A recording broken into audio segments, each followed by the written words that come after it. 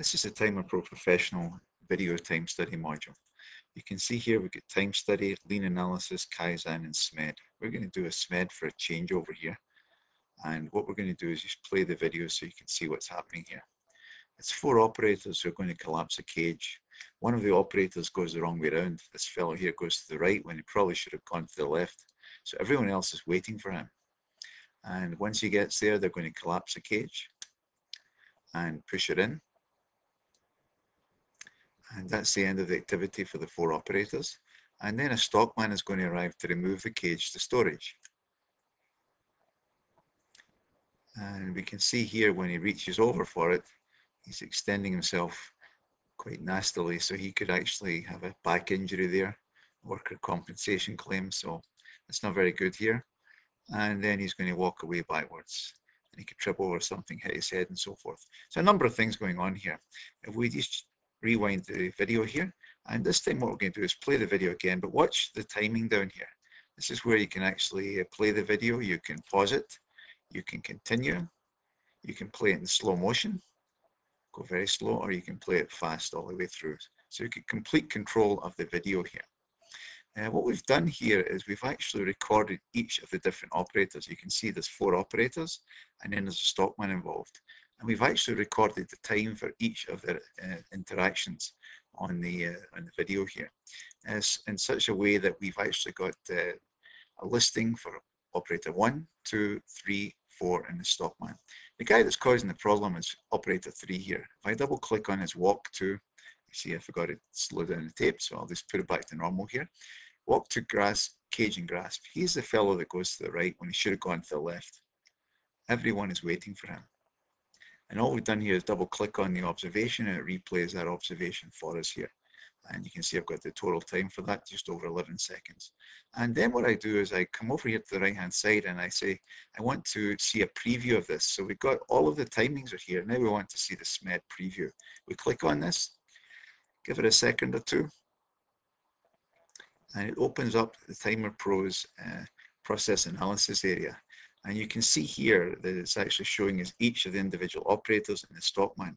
Not only that, since it's coming from the video, if I double click on, if I single click on this uh, icon here, here's a preview of the task right here. And if I double click, it's actually going to play it for me. So again, you can see our, operator number three going to the right when he should have gone to the left probably.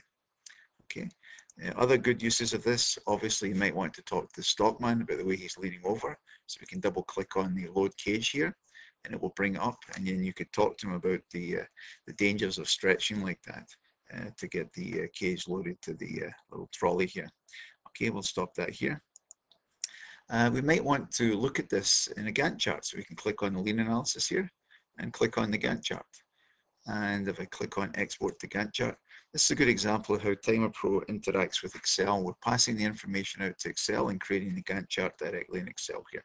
And you can see here very obviously operator number three is the guy causing the problem. So what might we do in this case? Well, I'm going to come up here and I'm going to select this little grid that I have here. This shows me that the total work content is just over two minutes and the total cycle content cycle time is about 45 seconds. So what could we do? Well, obviously if this fellow here went to the left, he might get there a little earlier. I'm going to click on that. I grab one of the little handles here and I drag it down. Just by making that change here, let's say he gets there roughly the same time as everyone else. We've actually saved 6% in the total work time. Now, obviously, if he gets there earlier, the other guys wouldn't have to wait. So I'm going to click on each of these um, fillers, which is a wait time, and hit the delete key. And as I do that, you can see up the top right hand corner my savings are getting greater. So now I've removed the uh, wait time from the other guys and you can see I've got about 26% saving.